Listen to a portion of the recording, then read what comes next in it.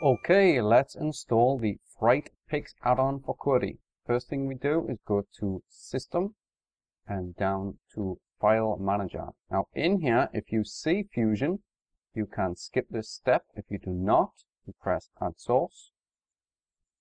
And in the address bar, you need to type http colon forward slash fusion.tv. You must include http colon forward slash forward slash or it will not work. We press done.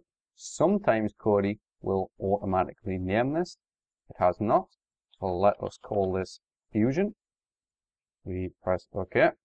Then we press the back button.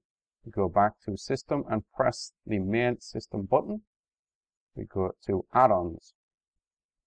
Now from here, we want to install from zip file and we go and find Fusion. Do not worry about this not matching yours. This is normal. We just go to Fusion. We go to XBMC repos, English. And this is what we need, the Blaze repo 3.1. This number may have changed since I recorded the video. This is good. This is fine. And we download this. Now, after it downloads, you must wait on this update section to finish before we move to the next step.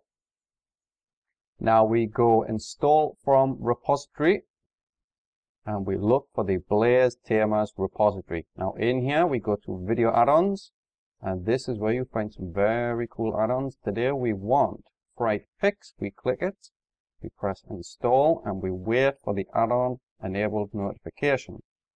To access the content, we need to go to Videos, Add-ons, and we look for the FrightPix add-on. Here it is. And we load this up, and this is where you find your content. If you've enjoyed the video, please press the thumbs up. If you have a question, leave it in the comment section, and please subscribe for more content.